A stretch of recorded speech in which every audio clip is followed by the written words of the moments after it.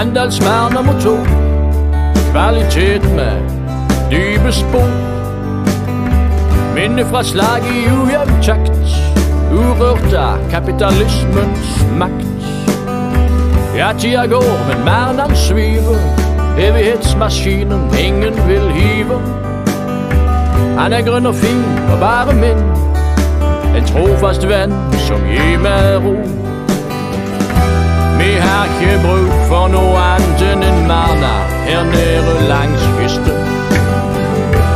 En liten dram før du sveiver i gang, det er alt som skal til. Om der er solskinn og fint eller dritvær, han mister ikke lysten. En mann er litt så tålmodig, ja, Marnan har alt som skal til.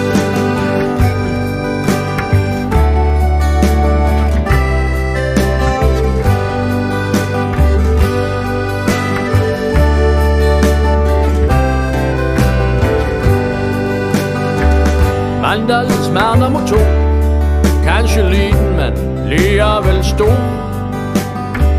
Nostalgi, hardt metall, lyden av sommer og sol. Ja, tida går, men verden sviver, bølgene skvulper og sola smiler. Roen sniker seg på, en trofast venn som gir meg ro. Vi har ikke bruk for noe annet enn en Marna her nede langs kysten. En liten dram før du sveiver i gang, er alt som skal til. Om der er solskinn og fint eller dritvær, han mister ikke lysten.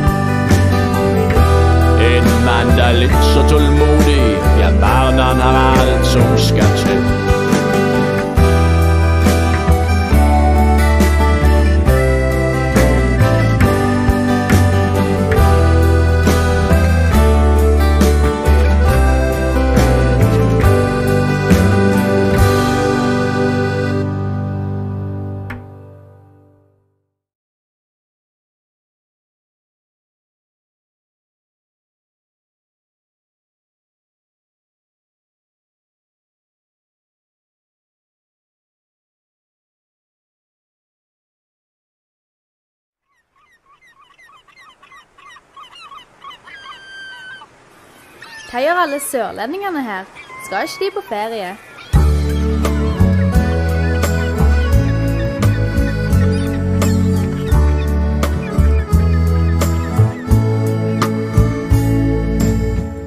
Jeg ser de kommer utover, turistene. De kommer trekkende som fuglene ifra sør. Sånn rett rundt sankthans har de flokka seg her ute. Og de er skjærgårdsskip litt større enn året før. Ja, de kommer ifra vest i firehjulstrekker. For det er jo klart, de må jo ha det som naboen har. Og kjerringa, hun sitter der så lekker. I Helly Hansen-dressen er hun hytteklar. Nei, det er mauebær på sjøen når det er vinter. Da er det bare meg, og det er mer enn nok. Ja, sånn og til så ser jeg noen måke. Men det er mauebær, en pissemaur i flokk.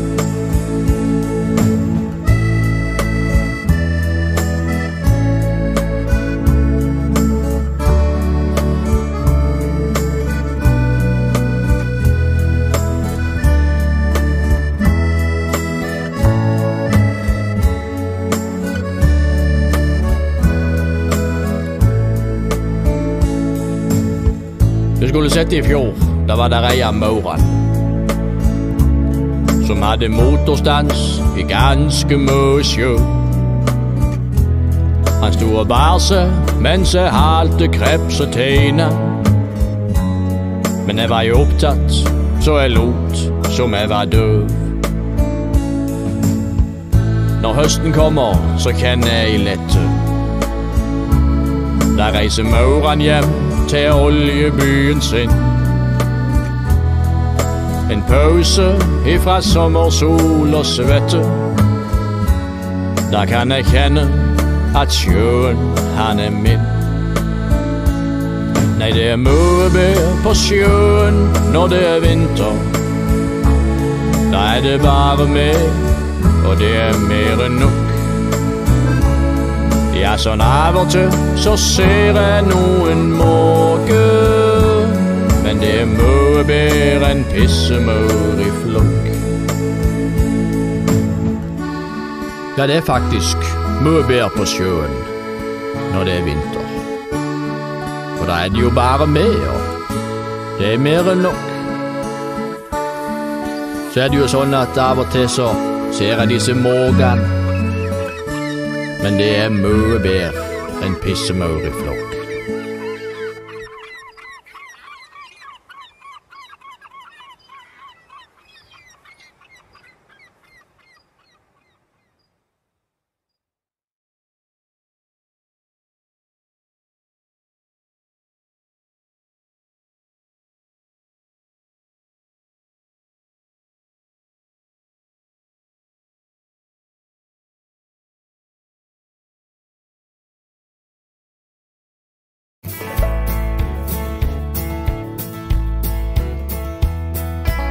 Det er mange som trenger hjelp.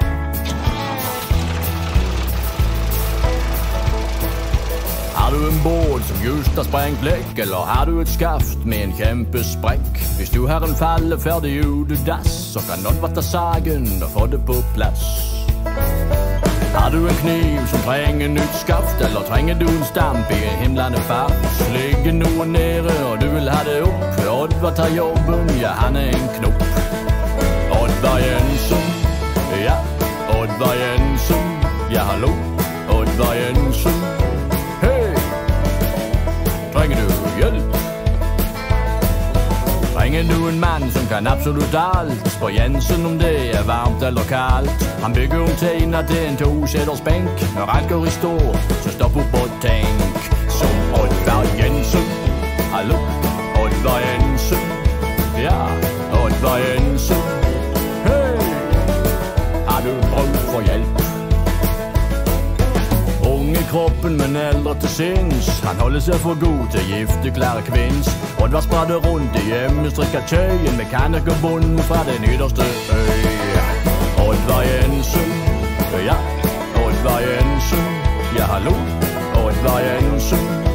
Hei! Det er mange som trenger hjelp. Kom igjen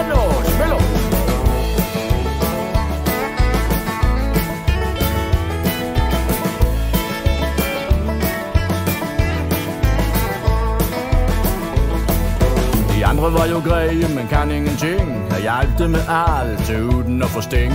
Og farmen fikk med det meste i havn. Kikko er en frukt og beliver seg et navn. Oddvar Jensen, ja, Oddvar Jensen. Ja, hallo, Oddvar Jensen. Hei! Du kan få litt hjelp,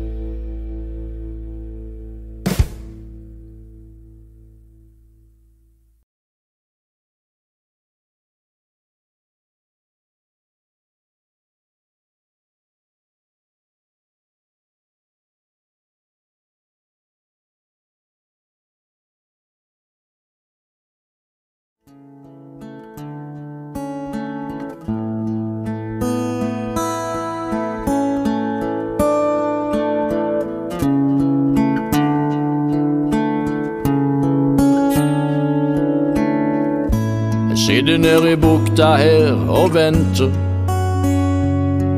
Bare venter på at krabbene skal koke.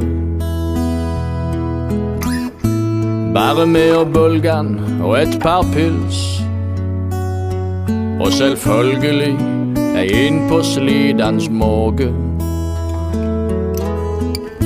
Og se der, der kommer inn en båt med folk. Det er Nils Reidar og så kjerringa til Åge. Hun sier Du kommer alle til å få det til å koke oppi der. Ja, hvis du prøver å koke sånn helt uten å ha på låget. Ohoi. Ja, de kvinnfolkene har løsninger på alt. De vet jo som akkurat hvor mye som skal til for at havet skal bli salt. Men en ting som gjør meg sabla godt fornøyd, er at det er sjefen fra i kastelås og til skuta er fortøyd.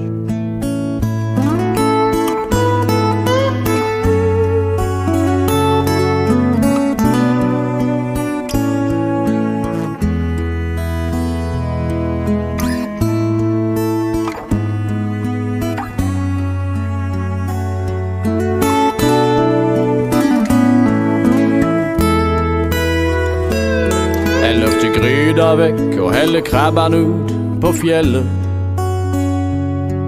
Og jeg starter med å suge litt på klønnan. Det er ganske greit å sitte sånn i livda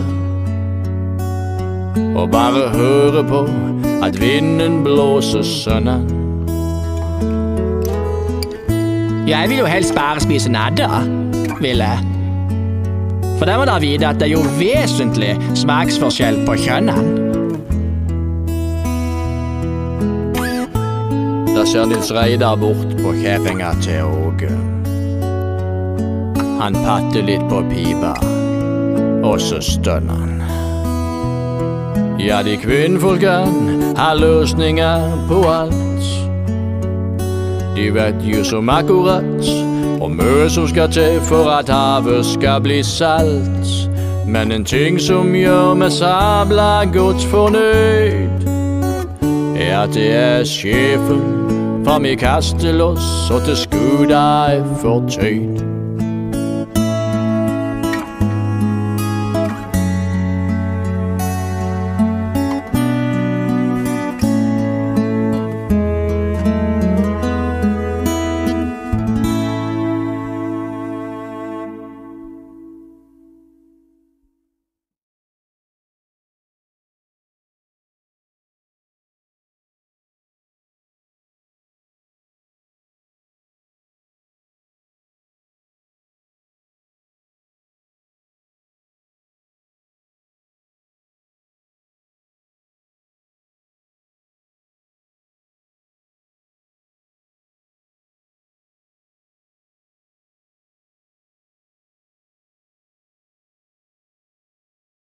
Ja, øh, nå, nå skal jeg virkelig spille den aller første visa jeg lagde. Den som jeg kalte for Et tomanntur ut snekka. Og den handler om det ur-mandalske. Det er ikke noe rent å si om det.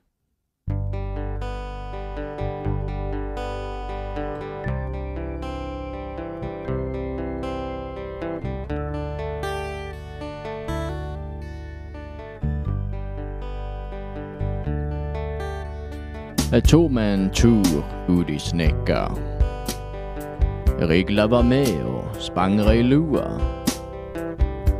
Når jeg passerer nua, kjennes kulden i ogla. Ja, en bjolter må til når en fiskers liv står på spill. En ekte fisker drikker seg aldri full. Båten skal geleides med stødig hånd. Men regler hadde floge, og bøtta var stappa. Så jeg dugga til brygga og satte meg ned med ei pipe. Ei vise skrift ifra sjela. Tang og tare, holmer, noen skjær. Maneten bølger videre i rolig tempo. Jeg lener meg over rekka og ser etter fler. Jeg tok meg en tur ut i snekka. Rygla var med og sprang i lua. Når jeg passerer nua, kjennes kulden jogla. Jan Hjolt om å til når en fiskers liv står på spinn.